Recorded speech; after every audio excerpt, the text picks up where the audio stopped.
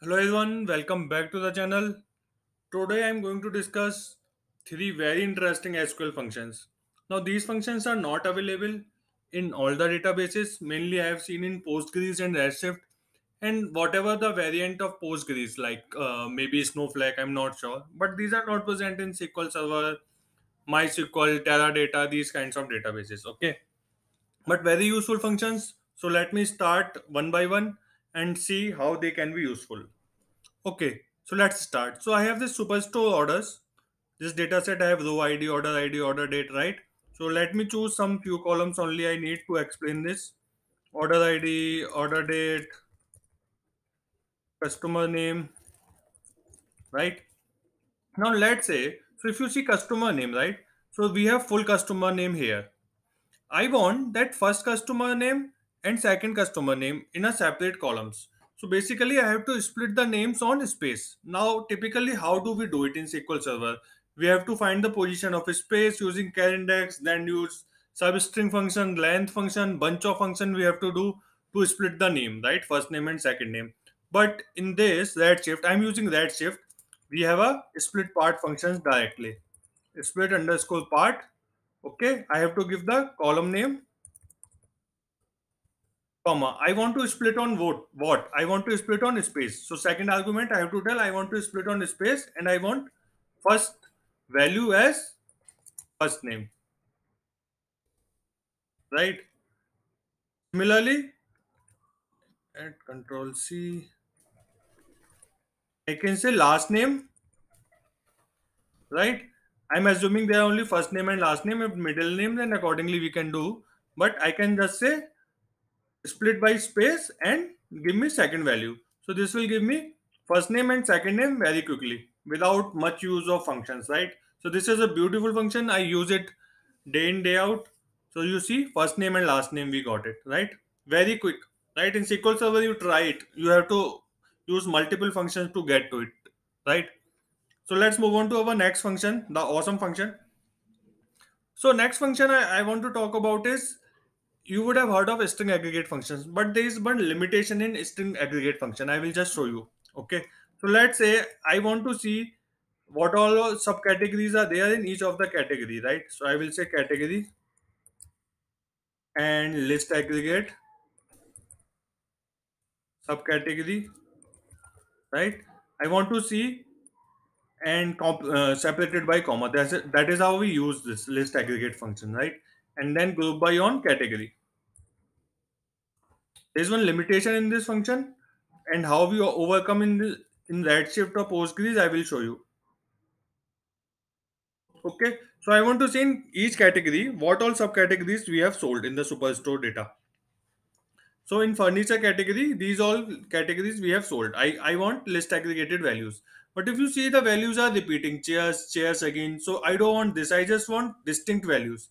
So typically in SQL Server, you have to find first distinct values of category and subcategory. And then uh, that will be inner query and outer query you will have to write list aggregate. But here you can do distinct here only. Distinct. That's it. That's it, man. That's it. And we will get distinct values. See, we got distinct values, right? So this is also awesome function, very useful, right? We don't have to write subqueries, just give distinct here. In in SQL Server, it is it is I think string underscore aggregate functions, but again you can't give distinct. Okay, so this is our second function of the day. First is split part, second is list aggregate with distinct. Third is third is more awesome. So let's do order ID comma customer name right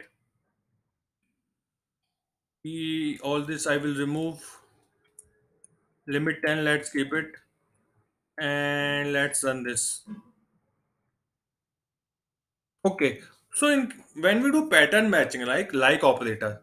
So in like operator what happens is if i want to say where customer name like and let's say i'm saying Claire right? Now the problem here is it is case sensitive, which means if I run this, okay, I have to put percentage. Okay. Uh, okay.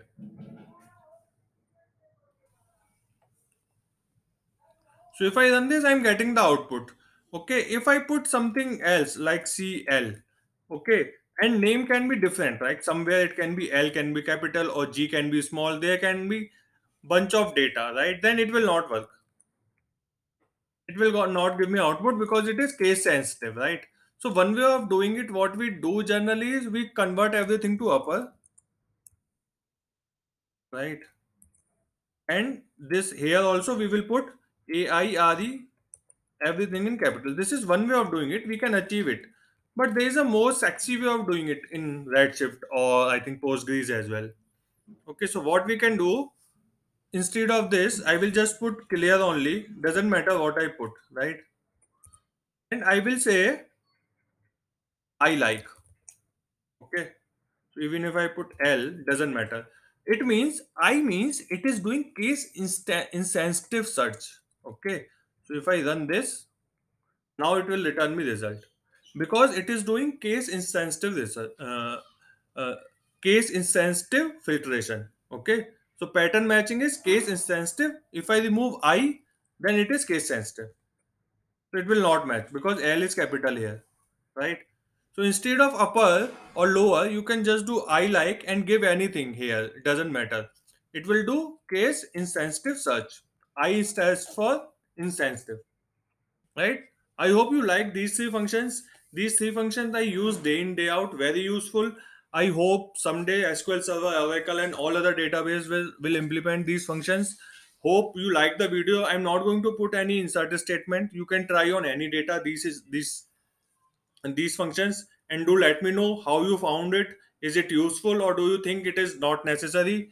And thanks for watching the video. Please do hit the like button and subscribe to my channel. That really gives me motivation to make more videos. Thanks for watching. Have a good day. Bye